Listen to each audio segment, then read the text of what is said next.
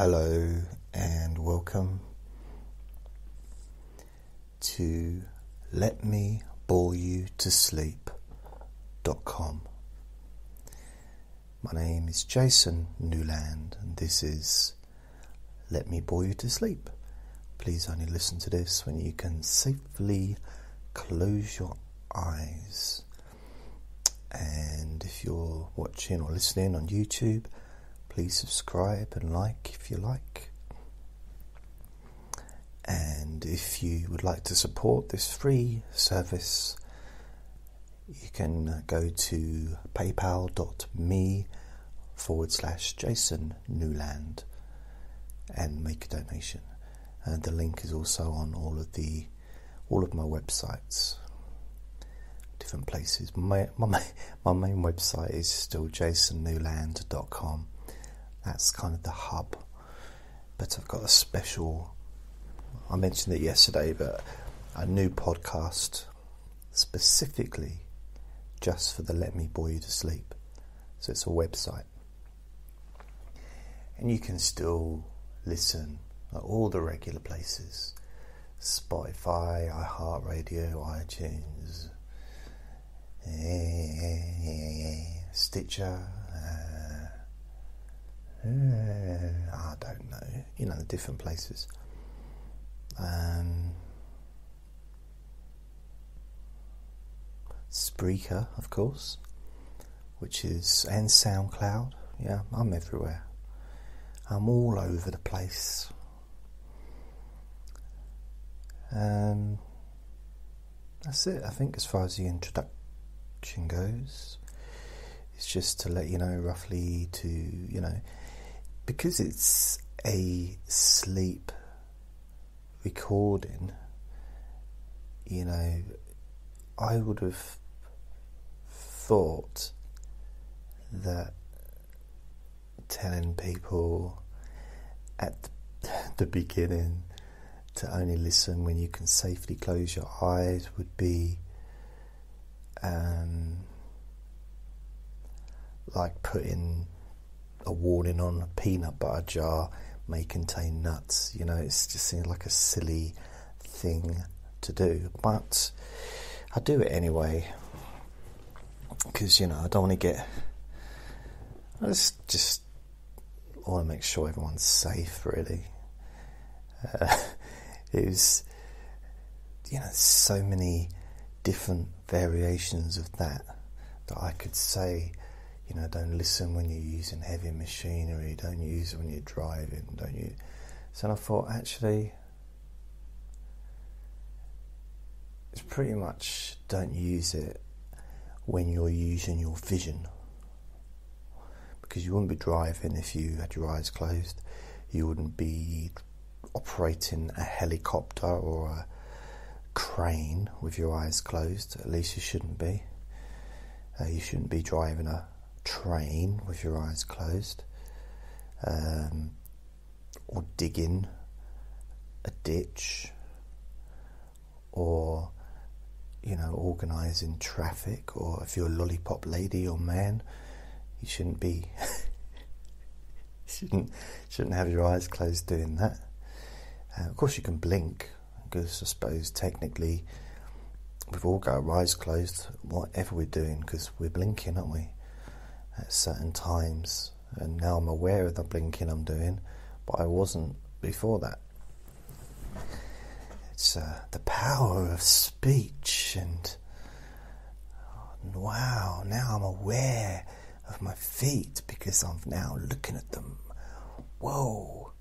So instead of going through a list of every single possible thing that you might be doing whilst listening to this, I kind of managed to come up with only listen when you can safely close your eyes. It pretty much covers everything. Of course, uh, you know, who knows? I mean, perhaps I don't know. I mean, people close their eyes when they skydive, perhaps a little bit, but it probably wouldn't. You wouldn't want something to send you to sleep. But I, I very much doubt that my voice would be able to send you to sleep when you travel, traveling thousands of miles towards the the ground. I think it would keep you awake. Uh, that would, I think, I'd. Uh, that would be a battle I, I may lose, which is good. Clock's gone forward about 37 minutes ago. So instead of being 127 and 22 seconds, it's now 237 and 28 seconds. That's how long it took me. It took six seconds. These six seconds went past just in that short period between um, the gap, really, between saying those two words, those two sentences. Yet the other day I was waiting for a bus and it was 20, 20 minutes to wait. It lasted about an hour. I was watching the time because there was a clock on this big screen and I thought, I know what I'll do. I'll close my eyes because I do close my eyes at weird times, but I was standing waiting for a bus, so uh, ideally, you wouldn't really want to be listening to this when you are standing up, uh, in case you fell asleep standing up. But I don't imagine there's that many people that are able to fall asleep standing up. But there might be. But I can't cover everything. I mean, I can't, you know. I can't put a. It'd just be rude, wouldn't it, if I just put a. If I said a message, you know, please don't listen to this if you're stupid. You know, that that'd be rude. So that's why I try and cover it with you know, only listen when you can safely close your eyes. Um, and I was counting a minute in my head. It's like, you know, one, two, three, four, five. And I went all the way to 60 and I opened my eyes, and the clock had still not turned over. And I didn't, I wasn't counting quickly. I what was it? Did um, what was the old saying? Is it one Huckleberry Finn, two Huckleberry Finn, or was it one raspberry flan, two raspberry flans, three raspberry flans? four raspberry flans, five raspberry, and that can't give you a second because just one isn't enough, but there needs to be a gap unless you stretch the one out. So instead of one, two, three, it's like one, but not too much though. It's not like one,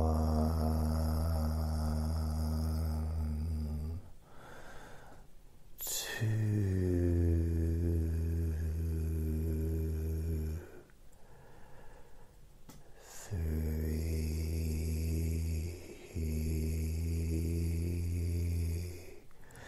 That because it sounds a bit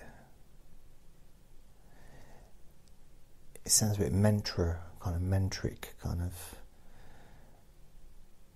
The thing is even if I'd have done it at that speed whilst waiting for the bus the minutes still wouldn't have been up.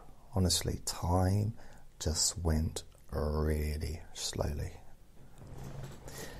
And I thought, you know what I'm going to do? I'm going to hypnotize my brain. I'm going to try to use a bit of time distortion. And, you know, by using some kind of, you know, techniques and thinking about things and, you know, imagining standing in the queue of a bank with only 10 minutes left of my uh, lunch break and knowing that I have to get back to work in 10 minutes time and it's a it's a 9 minute walk. And I've still got four people in front of me and I need to go I need to get to the bank. I need to do what I need to do because it's important. But I also need to get back to work. And I was just standing you look I'm looking at the clock. And the clock's doing exactly the opposite to what it was at the bus stop. And it was like going, you could see it just going around really quickly. And there was a, you know, there's an old lady having a good old chat. Come for a chat, brought a chair and everything just to sit in. I was just chatting about the good old days, like, okay, and there's another person brought in about six thousand pounds worth of two pence pieces. So, oh, great. And they opened another cashier, and I thought, okay, we'll get the queue will go down now. And the person walks up to them and says, "Yeah, I was wondering if you could tell me a bit about your business banking." Like, oh, no. No, no, that's not what I want. Time was going by so quick. So I thought if I did this, if I tried to get my mind into that zone, I could then speed up time so that I experience time whilst waiting for the bus the same way as I was waiting in that queue of the bank as it was going quickly because I needed to get it done and I needed to get back to work. And I started thinking about something else. And I think someone asked me for some spare change or something, I don't know. And I just got distracted and thought about other things. But yeah, it was a, really thinking about doing that. I thought, let me get my mind, you know, wrapped around the idea of that clock, that that mentality, that state of mind where time really does go quickly. So the clocks went forward you know, 44 minutes ago. And, well, 44 minutes, 45 minutes and two, three seconds. Five, six, seven seconds, eight, nine, ten, thirteen, fourteen, fifteen, sixteen, seventeen, nineteen, twenty. So that's quite quick, isn't it? I'm sure the seconds don't normally go that quickly. Because I'm reading it off the screen on the telly, it's on, it's on mute. So it's 30 seconds, 31, 32, 33, 34, 35, 36, 37, 38, 39, 40, 41, 42, 43, 44, 45, 46, 47, 48, 49, 50, 51, 52, 53, 54, 55, 56, 57, 58, 59, 60. Yeah, when I was going one, two, three, four, you know, which is kind of half the speed, got to 60, the clock's still not gone past a minute. So it's as if my television is at a different speed, and it might be some kind of time distortion, because I'm talking about it, and now it seems to be going really quick. Isn't that weird?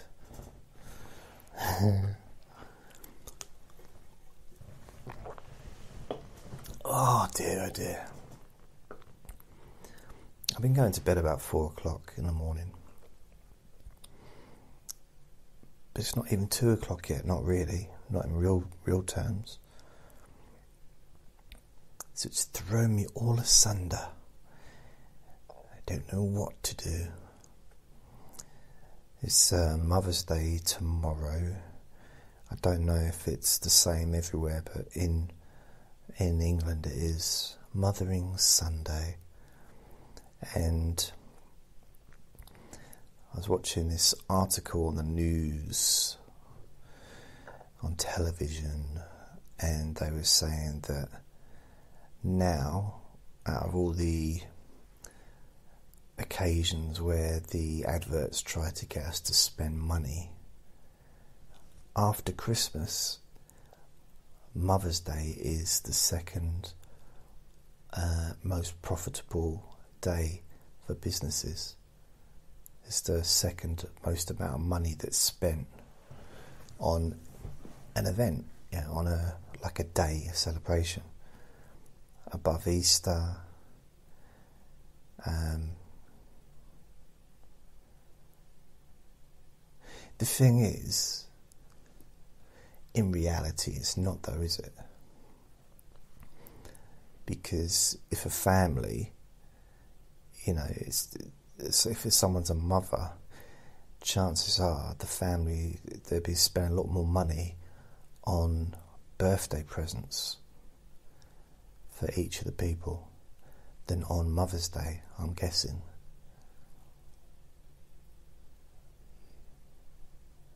But what about Father's Day? I don't know when that is, but apparently it doesn't come close to being as popular. So, yeah. We don't have Thanksgiving in England and so I'm guessing in America, Thanksgiving, I don't know. I, I know Thanksgiving is in, in November. I kind of understand the point of it. But what I don't know, I know that, you know, it's a, like a, a family get together and uh, yeah, it's a big celebration in America probably as big as, as Christmas, possibly, as far as the day. Uh, up again, I don't know, but I don't know. Do you give each other presents? Isn't it weird? I don't know. I honestly don't know. I don't know why I'm getting so excited about it. I'm actually getting really interested in not knowing something. I'm getting little spine tingles of excitement, which I don't normally get. Wow, I wonder why I don't know that. Oh, wait a minute. Oh, yeah, it's because I don't care. That's right, I forgot. I don't care. I don't care. It's, but I want to care. It's more interesting to care, but I don't really. I'm kind of interested but I'm not. You know, it's, oh. So I wonder, do you get presents wrapped up and you give it to each other, or is it more about um, thanking each other for? I don't know. Do you thank each other for what you've done? So I'll Thank you for mowing the lawn last Wednesday. Maybe you read a big list out of things that you you're thankful for for other people that, that what they've done. Thank you for not leaning against the wall when I painted it back in August. Uh,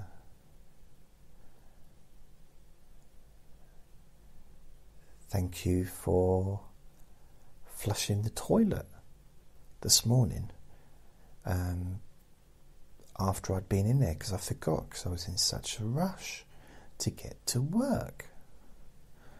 But thank you for flushing it afterwards. And um, also thanks for reminding me how you needed to flush it. And uh, thank, I'm thankful for the whole experience because it, it gave us something to talk about.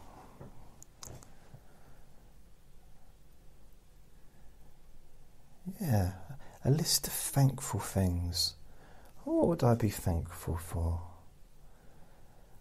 Be thankful for now, or would it be what would I be thankful for? Like forever, you know, not forever, but not always feel thankful about it. But what have I been thankful for in the past? I suppose there's little things. I'm thankful to the internet because the internet has given me an opportunity to,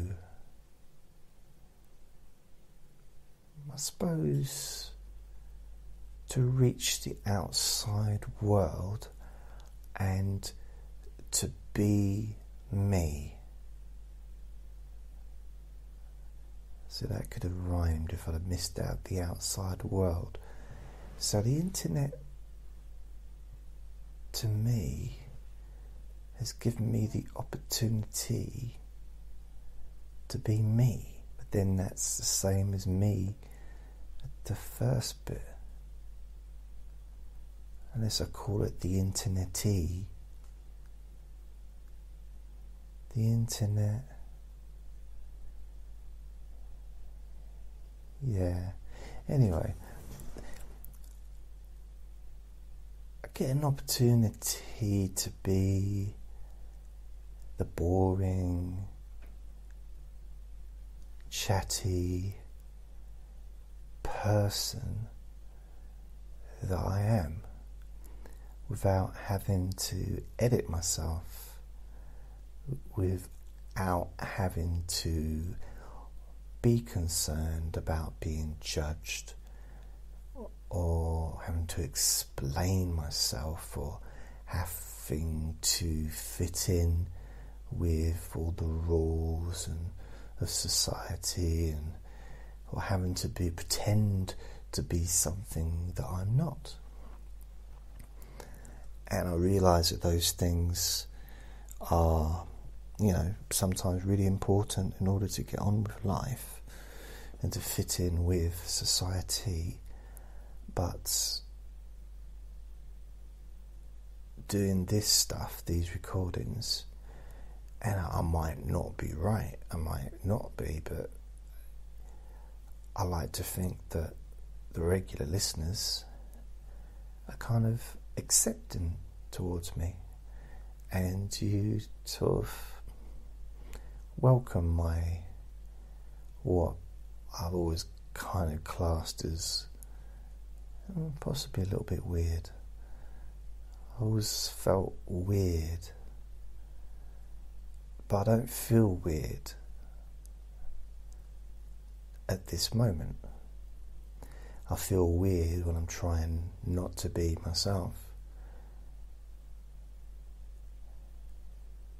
Because my natural self isn't sweary or aggressive or, you know, but I can be like that. Well, we all can, I suppose, but my natural self is relaxed and calm and light and like to just play around and a bit cheeky maybe and like to just have a little bit of fun. Maybe, maybe it's just verbal fun, but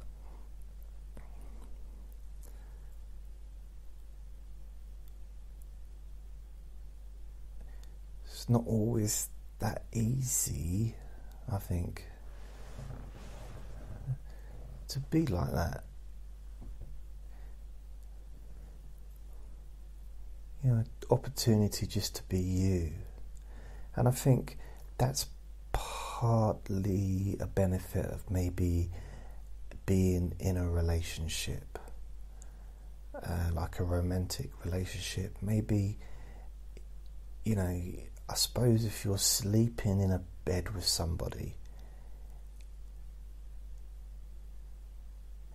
and you're breathing in each other's farts daily, you you know you you you get to know the person and you get to kind of just be yourself, hopefully, eventually, and just relax into it. And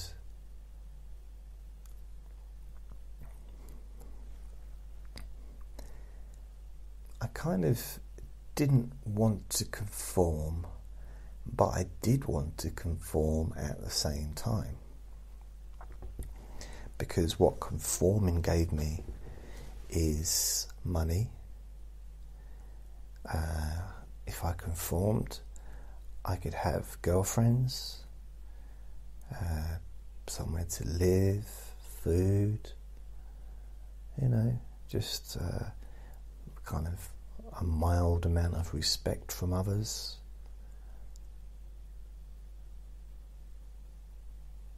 but not conforming, not as like a re- I, I kind of not as a rebellious thing, but as a kind of I suppose letting the mask slip a bit sometimes. You know, at work, I kind of forget where I was and I'd say something and I'd get told off. Like, oh, you can't say that. no, I can't believe you just said that. And sometimes it's just honesty, you know. And I'd be talking about myself and just say something, but it was like, oh, that's too personal.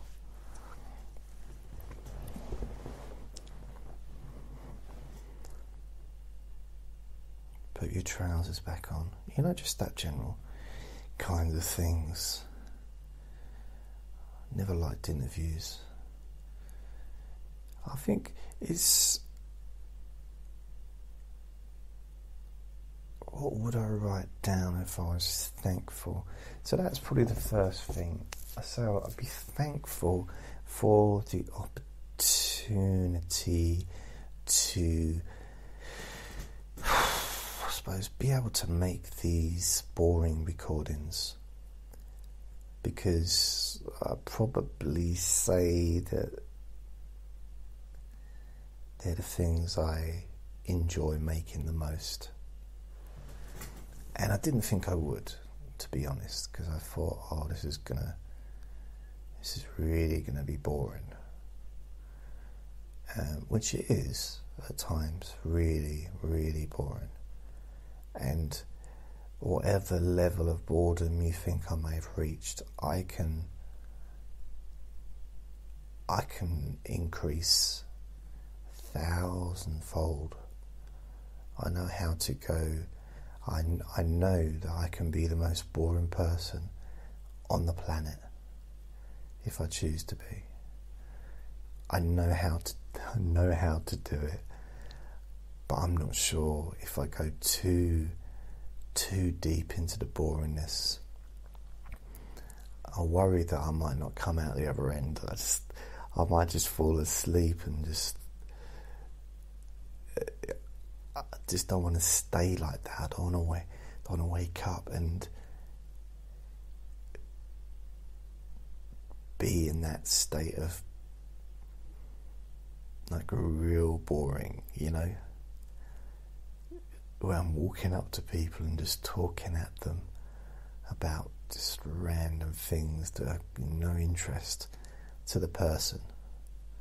And that's what being boring is really. It's it's not talking about boring subjects, it's just talking about something that the other people find is boring. That's what a boring person is. They're not not necessarily a boring person because when they're around other people that are interested in what they're interested in, they'll probably be classed as an exciting person. So I kind of know what it feels like to be on both sides of that tennis court because the only things I like talking about is well, mainly me, but the things that I like, and that will depend on the day. You know, the other day I would have talked to you about The Walking Dead television show, but I don't talk about that stuff, you know, because I forgot about it and just. It, but it's something that I would have probably wanted to discuss if I was having a two way conversation. Then I'd pick a subject. If if I could pick a subject, I'd pick a subject that was interesting to me, which I think is kind of normal, really. It's just standard stuff. But other times I might not be that interested in talking about a television program. I might want to talk about shoes. Um, because I need to get a pair of shoes, and I bought some shoes for uh, a lady uh, a couple of weeks back who sells the big issue and she's homeless. So I bought her some shoes because it was cold, it was raining, and her, her shoes all had holes in them. So, and in case you're thinking I'm saying that just to to show off how generous and charitable I am, you're right. That is exactly the only reason I'm talking about it. Because I want to be held up in high esteem by the world. And I would like to get a Nobel Peace Prize for buying a pair of shoes. That's my aim. It's been my goal in life for a long, long time. And you may say that how how how is buying a pair of shoes going to cause world peace? Well, my answer to that would be: Has anybody that's won the, Peace Prize caused world peace? And you can argue that one. You say, oh, no, true. So, but I'm not comparing myself to Gandhi.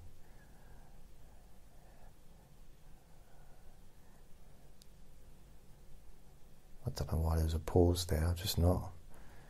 It's, it's quite weird. I don't know if you know. Like I watched Gandhi back in, what, 84? 1984? in case you think I'm talking about 1784. Oh, 1784, I remember that version of Gandhi. Yeah, it was great, that was. Yes, it was. Uh, it was on stage though, because there's no television back then. Plus, he hadn't been born. Um, no, 17, 18, 1984, 19, or might, it might have been 1982 but for some reason, I'm pretty sure it wasn't 1983. Isn't it weird that sometimes, if you like, think of a date, it might not be like a specific date, as in the 4th of November, it, but it might be a year. And I think, oh,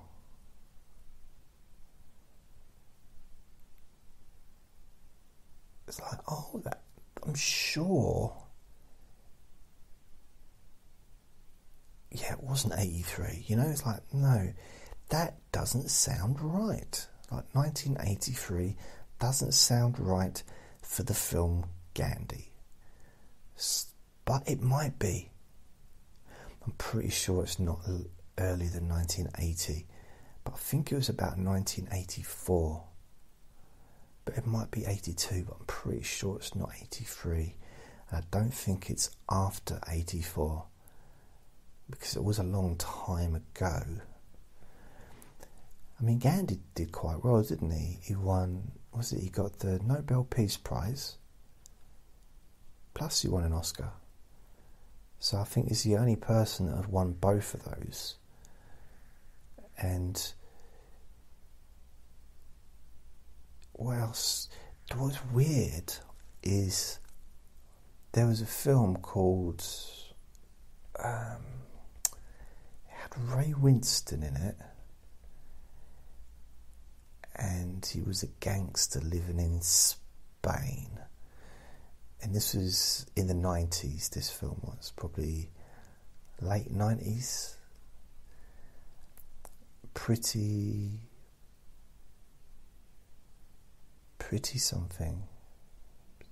Oh, Sexy Beast. A film called Sexy Beast with Ray Winstone. And I don't know if you know who Ray Winstone is, but he's he's a famous actor, he's he's like a legend in England. He's a legend actor. He's like um, much loved over here, and he's kind of like in the same the same league as sort of Bob Hoskins. Kind of been around for quite a while. He's I mean Ray Winstone he's been around since he was a teenager, like making films, and he's now probably in his. I'm guessing he's older than me. Probably by not that much, so he's got to be in his 50s. Um, so he's been around for like 40, over 40 years. Well, over 50 years, because if he's in his 50s, but he's. I think he was in a film uh, called Borstal or something, and that was in 19 in the uh, early 80s or something. And he was, I think, he was about 17 at the time. And he was really slim back then. I mean, he's a big bloke now, but he was he was slim, but he was young. And the thing is about, I think, when you're young, well, not not everybody, obviously. Um, it's not not all elephants can swim. You know, uh, well, there's going to be the odd one, isn't there? They're like, oh god, I didn't. Oh no. I love the way they hold on to each other's tails and trunks. Like that's going to make a blind bit of difference if one of them sinks. But it's optimistic, isn't it? I wonder if elephants do float though. There's got to be quite a bit of air inside their tummies because they are big. And water retention and water on top of water floats. Also, fat on top of water floats. Because if you put, if you get a tub of lard, like literally a tub of lard, I'm not talking about uh, a person. I'm talking about a tub. Literally, I don't know where you get tubs tubs of lard from, but you can get cubes of lard, and they're kind of wrapped up in. It's like this paper, but it's not really paper. It's like Stork SB was one, or that, that I think it was lard or that was butter. But there's lard that you use uh, maybe for cooking, baking, and stuff. But it's in a special kind of grease grease paper, which I don't know. I don't know why. Again, I'm getting excited about grease paper. So that's two things. I'm getting like really nostalgic and kind of excited, like grease paper, and earlier, you know, Thanksgiving. Do you give do you give presents on Thanksgiving? I'm getting a rush of euphoria. That's weird. So, what's I talking about? Oh yeah, films. So Ray Winstone was, he was slim. He was very slim. I was slim. When I was at school, see, I think, I think I was premature And that's a problem I've had all, all throughout life in different ways. But I, I was, I think I was born, born too soon. And I was very little. Both my older brothers were a lot bigger than me, and they were older than me. But they would be bigger because they were older. But but they were bigger. I mean, in comparison to what I was when I was, or when they were my age. So I'll give you an example. So when I was ten, my oldest, my older brother of two years older, he was bigger than me because he was twelve. But when he was ten, he was bigger than I was. Not because I was eight, but I'm saying at the same time, if you if you put a ten year old version of me next to a ten year old version of my older brother, the one that was two years older than me, he was bigger than me. He was bigger, stronger, broader, you know, uh, just bigger. And if you'd have got my oldest brother, who was four years older than me, got him at the age of 10, he was probably slimmer. Not slimmer, but he was not slimmer than me, but he was taller. I think when you're tall, you look sometimes you look slimmer when you're taller. So he was a lot taller than I was, and he was taller than my other brother at 10. So our tallest brother is over six foot. I'm five foot eight, and probably my uh, my two years older brother is probably about six foot, and the other one's probably six two or six three or something. Uh, maybe I don't know. I lose track. I've never measured them. I'll be honest. I tried to a few times, but they kept waking up. um,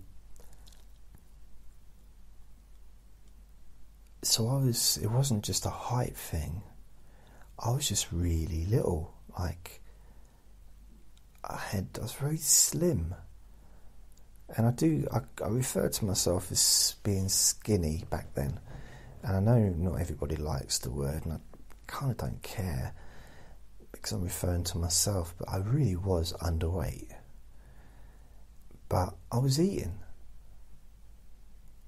You know, I used to have a well, I say I was eating, and to be fair, I didn't always like my packed lunch. And I prefer to eat sweets. Yeah, so perhaps. But I always had a cooked meal in the evening. Always had a couple of cooked meals at lunch, you know, during the at the weekends, like lunchtime and the evening as well. Always had breakfast. So you know, I didn't didn't go without or anything, but I just it's not like I pooed more either. I just just didn't put weight on, and I stayed really, really, really slim for a long, long time, long time. And it got to the point where actually I tried to put weight on. So you hear the you're to hear the um, you can hear the chair squeak a little bit because I need to scratch my left buttock. That's better. It's quite weird. My left buttock feels, you know, you get that dirty itch. Sometimes, if I haven't kind of washed for a bit, and I kind of, oh, I need to change my underpants, and there's that just itch of just uh, it's like, please just wash me. Yeah, but that wasn't it because I've had a bath today, so that wasn't a dirty itch. That was just a maybe it's a sweaty itch. I don't know, just an itch. Maybe I shouldn't look too much into it. But I used to be really slim,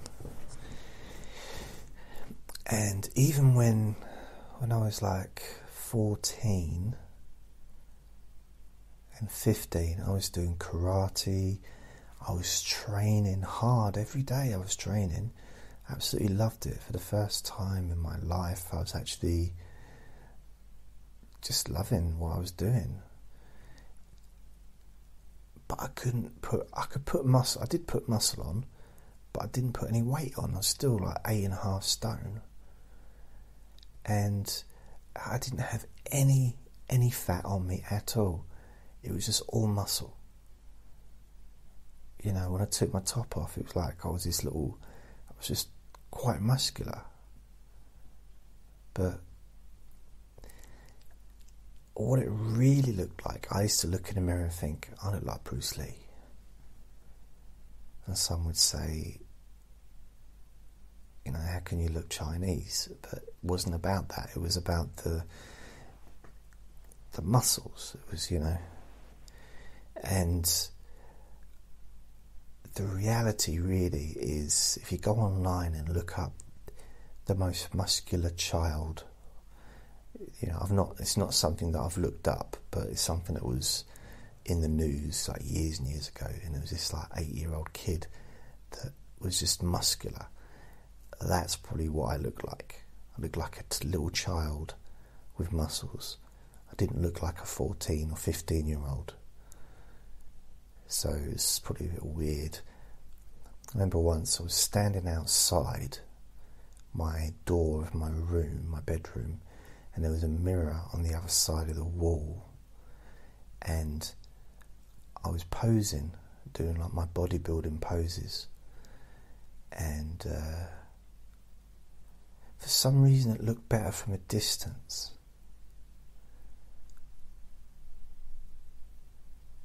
But I was doing it and I was grunting and I was, I was like doing the. Have you seen bodybuilders? You on stage, you know. The, if you want to know what I looked like, just watch Pumping Iron.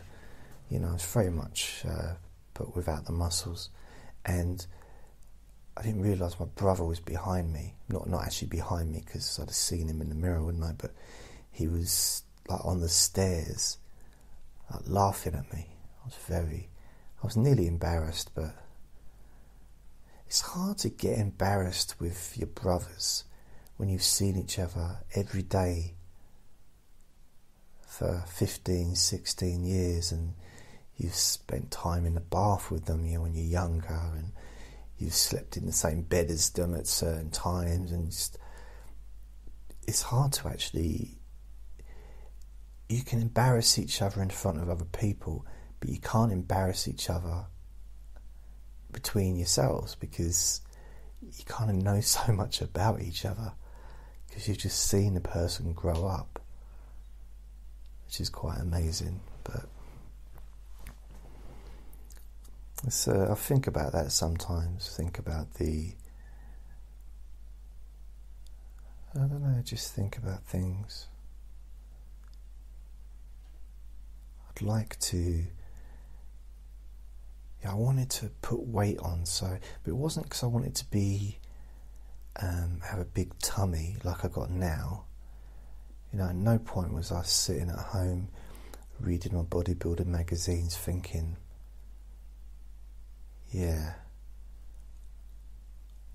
I want to look like that that bloke from Little Britain. I want to, I want to have a big, big belly, and it's like I didn't expect to ever have that.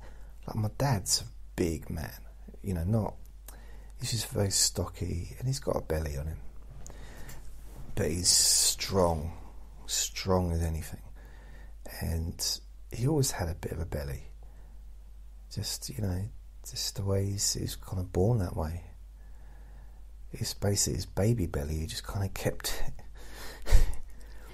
um, I shouldn't say that, but he. I didn't expect to end up with the same kind of body type as him because I really didn't have that shaped body when I was a kid. You know, when I was like growing up, I was just so slim. And when I was 16 and I started, uh, no, 15, I started earning money because I left school when I was 15 I started working full time straight away. And I started eating a bodybuilder's diet until he found out, and then I kind of had to buy my own food. Boom, boom, boom, boom, boom. And I started. I got this book called Optimum Health, or the Optimum Bodybuilder's Diet, or something like that. And you know, it's kind of like eating eggs, having an omelette uh, every morning, and lots of salad, fruit, vegetables, you know, uh, poultry, dairy products. it's kind of just uh, vitamins, alfalfa, and kelp was one particular mixture that was supposed to be good for producing muscle growth. Uh, also, I used to take like the protein drinks, you know, ones you kind of mix yourself. Uh, so yeah, I was really into it. I couldn't put an ounce on. Seriously, couldn't put any weight on at all. Just didn't work.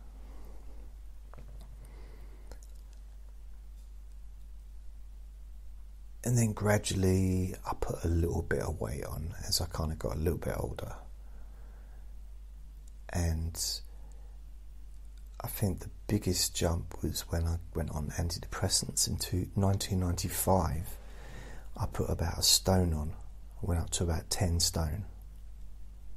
Or maybe, yeah, because I was walking around about nine stone, maybe nine and a half before that but that extra stone or half a stone really made a difference to the way I felt. And like I put, yeah, I was like, wow. And I was able to sort of, when I was doing security in 1996, 1997, I put weight on because uh, at one time I was just sitting on my bum all night long for about 14, 15 hours a day, six days a week. And I remember my friend who I lived with, he said, Your bum's getting big. I was like, I didn't enjoy hearing that. I'll be honest with you. I'm sure he didn't mean it in a hurtful way. But, you know, when you do what you can, you do what you can, you got mirrors, you can, you know, you can do what you can with what you can see. I can't see my bum. I can't see it. I don't know what it looks like. I've never seen my bum ever.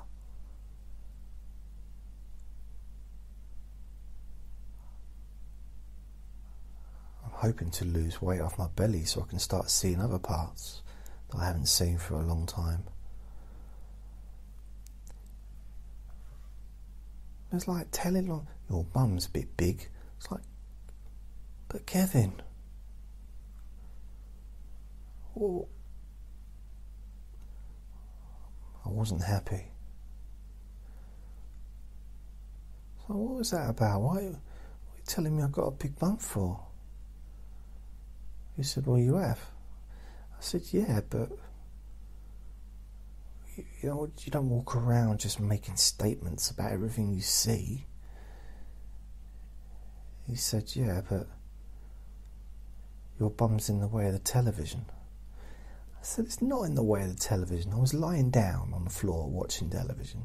He was trying to make out that he couldn't see the screen because of my big bum wobbling which is a lie.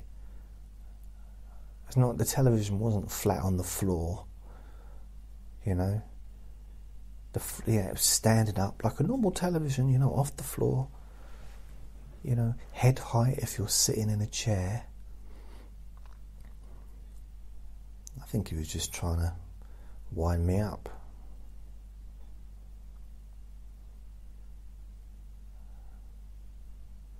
There's not really any end to that story, but I just. I think I'll let it go now. I've been holding that in for. What, 24 years? Oh. Oh, so therapeutic. Ooh. I wonder what else is in there. Let's open another door.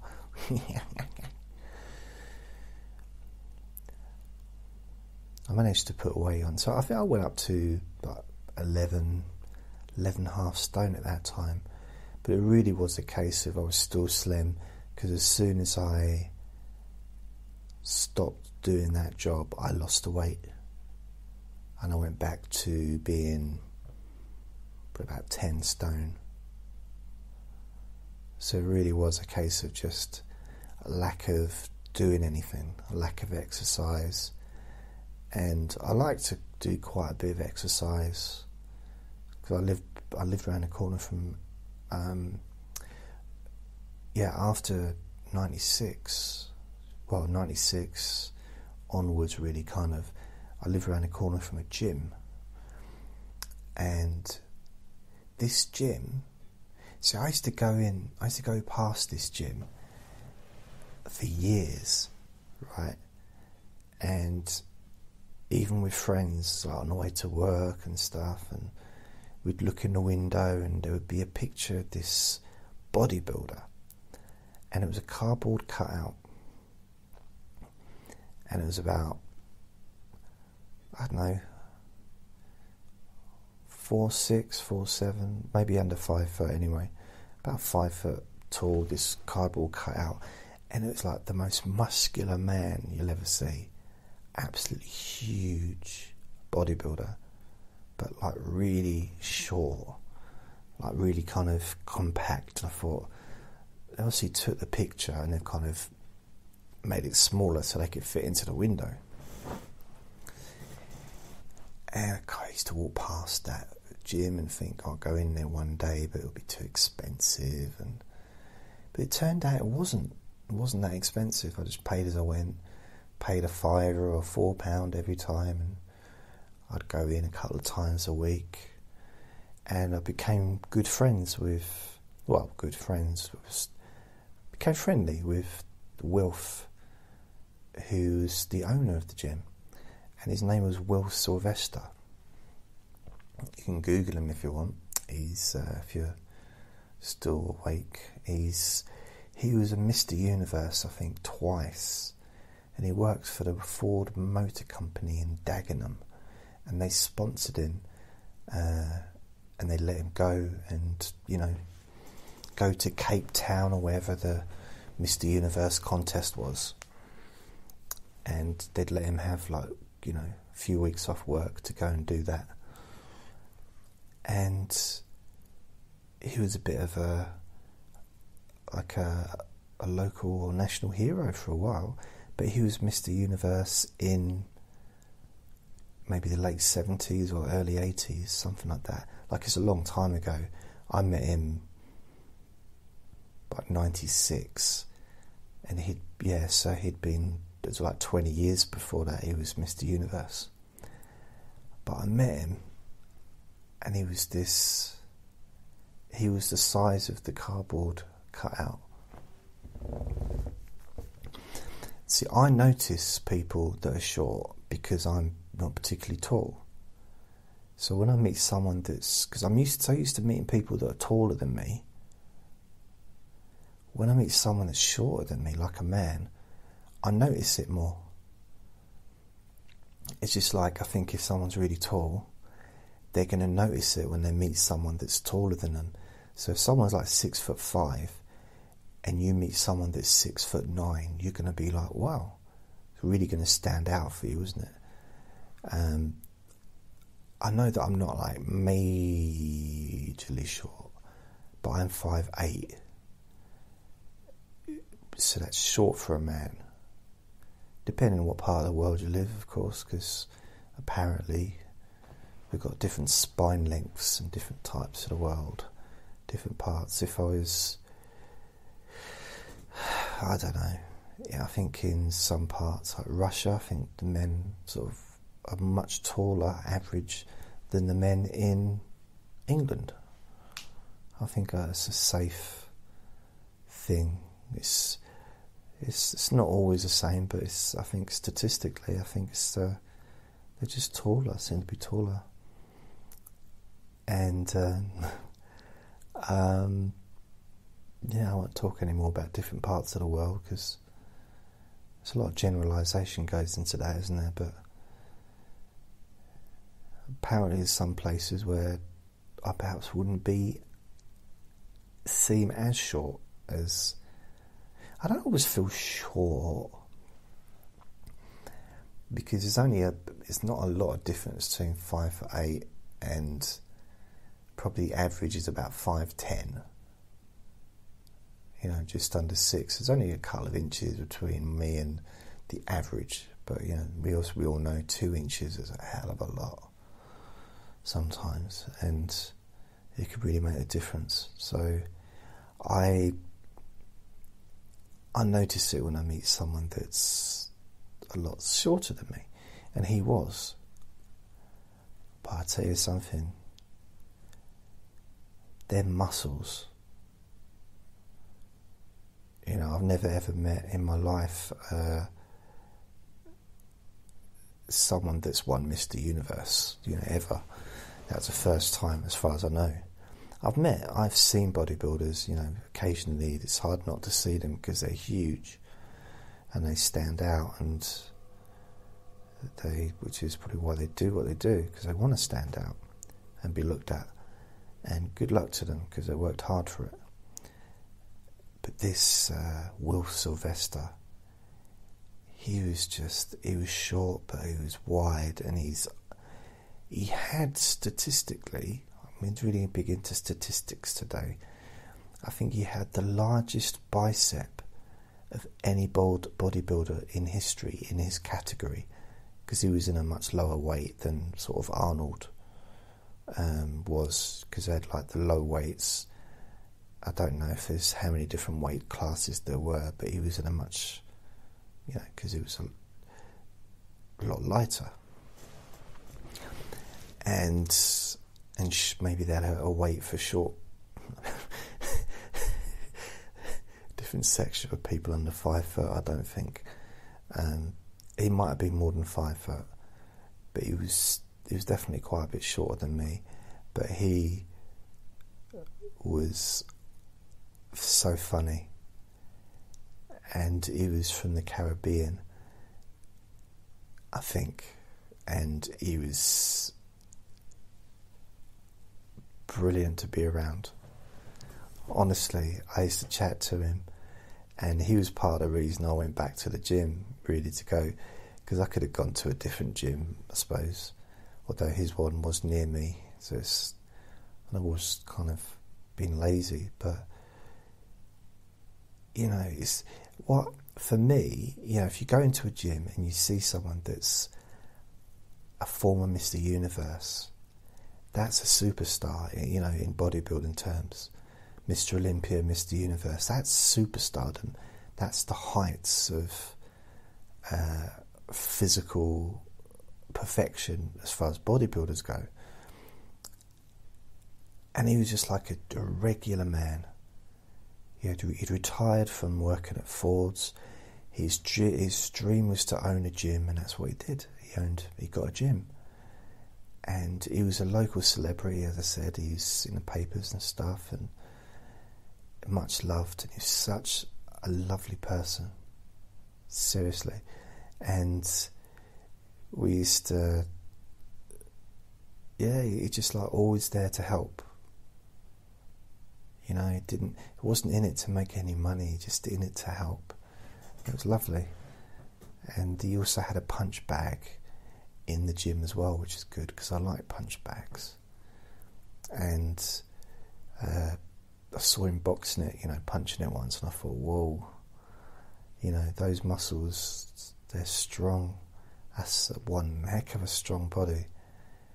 I don't know how old he was at that time. Probably, he must have been in his 50s. It may, may yeah, I'd, I'd imagine he'd be in his early 50s, maybe late 40s, but early 50s, maybe later. He looked young, but it's hard to tell um, kind of what age he was. But I imagine he was in his 50s. He had grown up children. Um, I was in my late, well, like middle 20s, uh, 26, 27. Yeah, so yeah, he probably had about 25 years on me, I'd say. But yeah, he was nice. I liked him a lot. And I used to see him even when I stopped going to the gym. He'd be outside the gym and I'd walk past and have a quick, have a little chat with him. You know, see how he's getting on and that.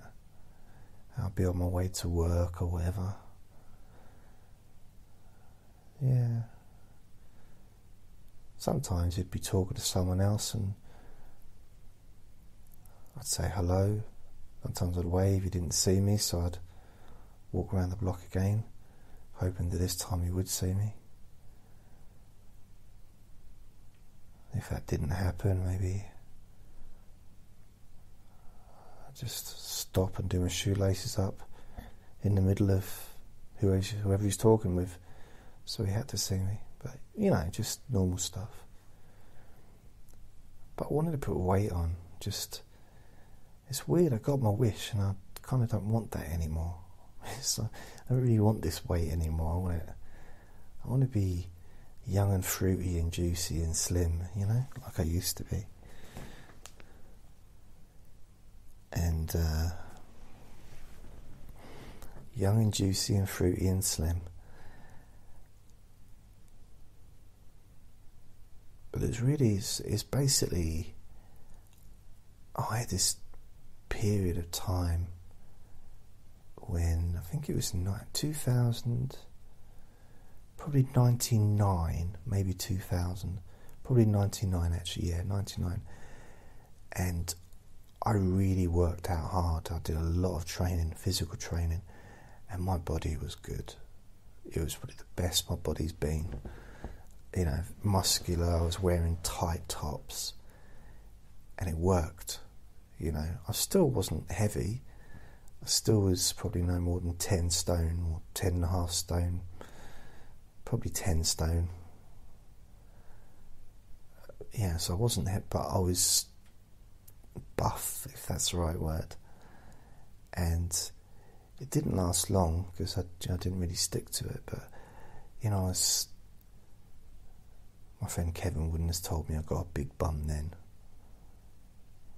But yeah, I was, I was really quite pleased with how my body was kind of looking, with clothes on anyway. And because uh, people can't see the cactus on my back when I've got clothes on. So, and then I, yeah, as I got older, a few things happened, and yeah, now I'm. I don't know how much I weigh now. I'm just under hundred kilos. That sounds heavy, doesn't it? Hundred kilos. You wouldn't lift, be able to lift it. Hundred kilos. So whatever that is. But I think I am losing weight because about a month ago I was just over 100 kilos two weeks after that, I was 200 kilos. No, I was 100 kilos. And then a few days ago, I was just under, like one, one kilo less. I'd lost a kilo in two weeks. Something like that. So, 100 more weeks and I'll, I'll be down to nothing. Be good. So I've lost a bit of bit of weight. I think it's just maybe the seasonal thing. Now we're getting into summer. I don't need the. I'm a bit like a walrus, really. I don't need the extra blubber to keep me warm. So uh, Andre's the same. He's lost a bit of weight. He's quite slim at the moment. Doesn't need that extra, you know. Even though he doesn't really hibernate, but it's still a natural thing for animals that would normally live in the wild to sort of put a bit of weight on, you know, ready for the winter. Just a bit of reserve. I've got extra reserve. I'm like a reserve park. So yeah, I kind of I'd like to slim down. Just the only bit really is my stomach. The rest is I don't know. I mean, I'm not sure about my bum. Maybe I need to give my friend a call, see if he'll go, go on Skype and show me bum, see if it's big or not. I don't know. He's the only one would probably tell me. Not something you can really ask somebody, is it? just you know, on the bus. Oh, but excuse me. Might be sort of a weird question, but is my bum big? I mean, if they say which one, then you know you're in trouble.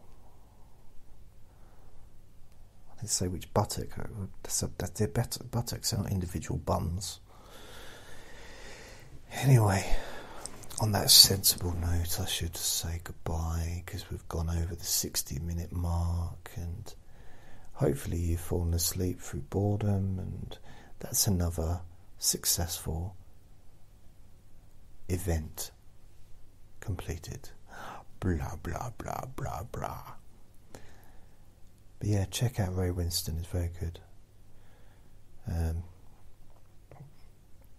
there was a point to what I was saying there, but I've lost it now. I've forgotten. But uh, take care. Bye bye.